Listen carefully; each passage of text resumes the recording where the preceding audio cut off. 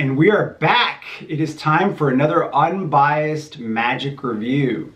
I wanted to thank you guys that have messaged me all throughout the year during this pandemic. And today I wanted to answer a question that I get asked on average about twice a month, which is what is my everyday coin carry set and what are my favorite go-to effects that I like to do with that set? Now, if you're like me, you probably have an abundance of coin gimmicks and gaffs. Heck, you may even have a whole suitcase full of them, but you may have realized that you can't even carry half of those with you, and why would you want to?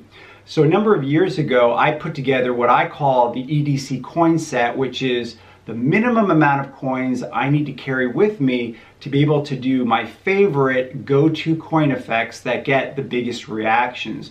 Now, these coin effects are not sleight intensive and they are audience tested and obviously I keep going back to them for that reason because they get big reactions. Now I've already priced this out for you so you can put together an EDC coin set like this for less than $100, which is pretty good. I'm gonna give you guys a couple of other alternatives too, so the price range of a set like this will cost you anywhere from 100 to $300, depending upon how much you wanna put out.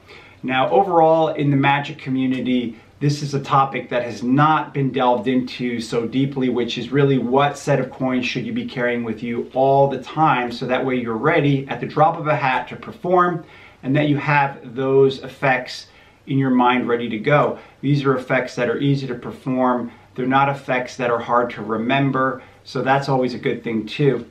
So let's get into that. I'm going to show you guys how you can put together an EDC coin set like what I have. And then all you have to do is carry around a purse like this with a set of coins and you can do any number of effects that will amaze people. All right, let's take a look at the EDC coin set and I'm going to explain to you how you can put this together yourself. And basically we're going to go through the cost of it. So the first four coins are just uh, regular uh, half dollars. You could use regular half dollars or you could use like Walking Liberty half dollars like I am, or you could use Barber half dollars, or you could use even a silver dollar, whatever silver coin you like. These are just regular coins. The next coin is going to be a combination gaff gimmick coin here where we've got a shell and this is just a Johnson Liberty shell. I think I paid about $70 for this, but if you buy just a regular Kennedy Johnson half shell, it's going to cost you about $32, okay? So it gives you an idea, and it's going to fit over any one of these coins, so you can do any number of routines with it. And the flipper coin is the other part of the gaff. The flipper coin is a very excellent coin because you can hand it out to be examined, and if the person doesn't know what it is, they won't even understand how to open it, so they won't even notice that there's a secret to it, which is great. Now, a lot of people don't like flipper coins because you have to change the elastic every couple of months when it gets old or when it breaks. So that's kind of an issue for some people, although it only takes about five minutes to change once you get some experience with changing out the elastic. You can use orthodontic elastics. You could even cut a small elastic ring from a, from a thin balloon if you want to. You can use double-sided tape or you can use uh, Blu Tack as well to hold the pieces together if you want to. But it is a very powerful coin and I urge you to check it out. Now, if you don't want to bother with having to fix the coin and that stuff, you can get um, the uh, Bob Swadling Next Generation Gravity Flipper. Um, and the reason I mention that is because that coin um, is built with a special elastic that seems indestructible almost. I've had mine now for three years and I've never had to change the elastic inside of it. It works just as well as it did the first day that I took it out, which is great. Um, the probably the only big difference is the, really the price. Um, the Bob Swadling Next Generation Gravity Flipper is going to cost you about $70 for a standard Kennedy. If you want to get the Walking Liberty one, which is what I have here, it's going to cost you about $125. Now, if you just get a standard gravity flipper, that will cost you about $45. Just gives you an idea of the prices, the ranges there. So um, you do get extra elastic material with this next generation gravity flipper, but like I said, I've used mine for three years. I've never had any issues with it. And the flipper coin really allows you to do a lot of routines that otherwise would be very difficult. So I like to keep the shell on top of the flipper just so that way I know what the gaff is compared to the normal coins, okay? The rest of the set is just two other coins. I've got here a copper English penny And then I've got a matching copper silver coin, which has got the Liberty on one side and the English penny on the other that matches perfectly. Now, uh, the copper silver coin will cost you eh, about $22 based on where you get it, unless you get something like this, which I got custom made, which is gonna be obviously more expensive. This one that was custom made cost me about $80, but that's because it was made with the coins that I wanted. I actually found these coins and sent them to the coin maker myself. But it's up to you what you want. So you can see that this whole set, which is really seven coins in a shell, is gonna cost you really around $95 if you go the most inexpensive way to about $300. Um, so this is all you're gonna need. And let's get into my top five go-to coin effects that I use this set for. Now, these effects are not in any order of importance. I like them all pretty much equally and you will find that some of these effects are better to perform in certain conditions or situations than others. I would not recommend that you perform them one right after the other, but instead you can just perform one or two if somebody approaches you and asks you to show them something. So the first one that I'm going to show you is, of course, the classic coins across effect. Now, this is based on obviously the uh, David Roth shelled coins across. Now, the way that I perform it is I do add elements from Homer Liwag, um, from his Coin 1 DVD as well, but you could just perform the standard shelled coins across. That's the way I did it for years. Always got really big reactions. It is really a go-to. It's so easy to perform. And the last coin that you do in the spectator's hands always gets really big reactions. So I urge you guys to check that out. You can find that on any number of instructional DVDs. And I know that probably most coin magicians have retaught David Roth's original shelled coins across effect as their own many times. So you can find uh, different variations and versions of the effect um, if you take a look for it around. Um, so that is the first of my go-to effects. It's a classic and there's a good reason for that is because it still gets really good reactions. Number two on my list of top five go-to coin effects is three fly.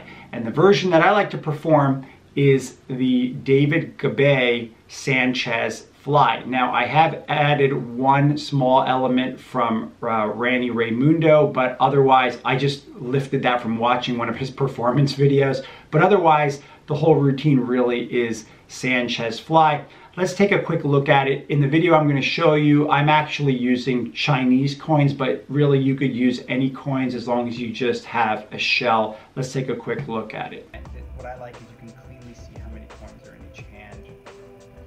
Because of that, I think it adds to it. So anyway, get yourself some coins. Three. Three to be exact, right? Three coins. And you want to spread them out in the fan in one hand like this. And the idea is you want to try to get the first coin to just jump from one hand to the other. Okay? You have to use a little bit of magic, of course, and it will jump just like that from one hand to the other. Now, if you missed that, don't feel bad. So did I. I didn't see it go across either. Like I said, it was magic. Okay? From here to here, it just went, almost like as if it went by itself.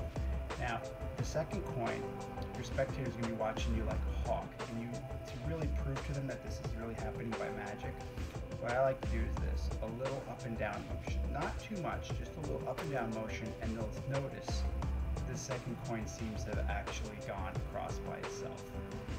Now, I don't know about you, but that looked pretty believable to me. Of course, that leaves us with just one coin over here, which eventually is going to join up with its friends here. Um, that is unless you cross your arms, in which case it jumps back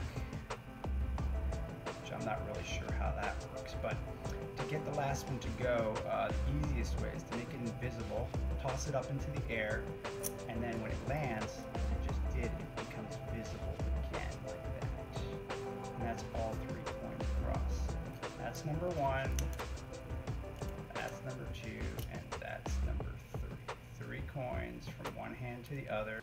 All right, number three on my list of go-to coin effects that uses the EDC coin set is a sequence that I call uh, PV3 or production vanish of three coins.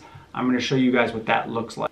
So this next sequence, which has become a go-to for me, I call PV3, which is production vanish of three coins. And this is based on a routine by Eric Jones called OxiClean, which he put out on his instructional video uh, called Metal 4. Uh, this is something I perform stand up and it's excellent for when you're in a crowded place with a lot of noise um, and you just want to show somebody something something visual and quick and you don't need a lot of patter and the extra noise does help cover any discrepancy of sound that you might hear. Um, this is an excellent routine that utilizes the flipper to the maximum. I'm going to show you what it looks like. You approach the person, you point towards their shirt, you say, what's that over there? They're gonna say, what? You immediately produce the coin from nowhere. Now that's gonna get, obviously, a reaction. You point again, here you're gonna produce another coin. Now they just saw that you had two coins, you point again, you reach over, and now there's three coins. So you've just produced three coins out of nowhere. And then you go into the following vanish sequence where you take the first coin, you apparently put it in your hand, you wave over it, and it is gone. Um, I really like the cleanliness of this. I like to vanish all the coins into the left hand like this because it just looks really good here. And you say, look, actually it didn't go anywhere. Look, it's right over here. So you show that came back and you say, it only goes somewhere if I really squeeze onto it tightly. And that's kind of nice because now they just saw two coins really vanish. The third coin, you could vanish it any way you want. If you want, you could vanish it in the exact same way that you vanish the other coins. You can do any kind of hand washing sequence you want to show your hands are empty. If you do that Gregory Wilson thing where you're like, oh look, it's not here, it's not there, you can easily ditch the, the gimmick that way to the gaff. Um, so that is the sequence. It's extremely simple to perform as you can see. It's very quick and visual and gets a lot of reactions. Number four on my top five go-to coin effects uh, goes to Troy Hooser in his effect called Table Flipper, which is a three coins through the table routine that you could learn from uh, his book Destroyers. I think he also put it out on a video set as well. And the reason why I like it is because it's very simple, very visual. Um, it's going to really get some good gasps from people, um, and it looks very clean uh, because you really can hand out the coins to be examined before and really afterwards. so simple. Um, you're not using any extras, which is great. I love it. I've performed it countless times because it's so easy to perform. I think you're really going to like it a lot. Uh, just the visual nature of dropping the coins in the table and it going through the table, it just looks really good. So no top five uh, list would be complete without a copper silver routine.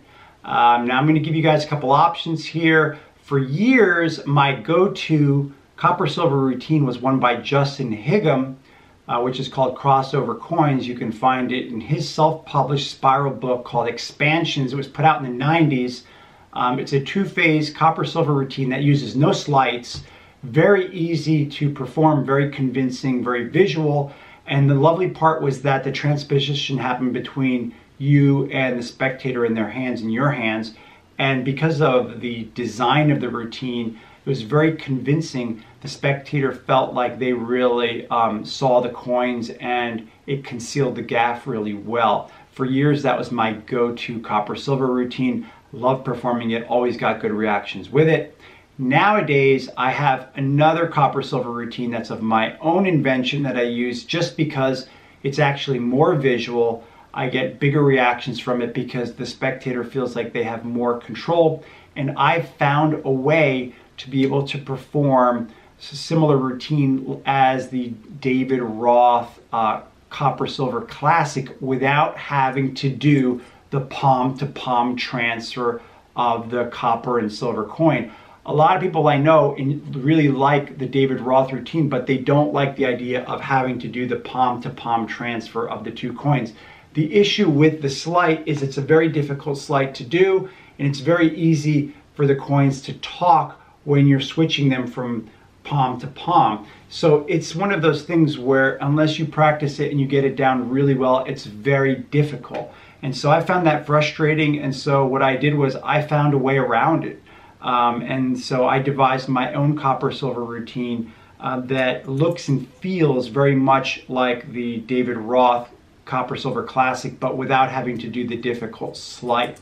Now, if you are interested, send me an email and I will send you a demo video of my routine as well as instructional so you can learn how to do it yourself. I don't mind sharing it with you guys. Um, I've gotten a lot of mileage out of it and it's really a great little routine. I've had a lot of fun with it. Otherwise, I would recommend that you hunt down the Justin Higham routine because it really is phenomenal and I still perform it all the time because it's a great little copper silver routine. So that's my list of top five go-to effects with this everyday carry coin set that I use. I hope that you guys like it. I hope that you guys will build your own EDC coin set and get some good use out of it. As always, if you have any questions or comments, just let me know below. Thanks so much guys for tuning in and I look forward to more unbiased magic reviews with you guys.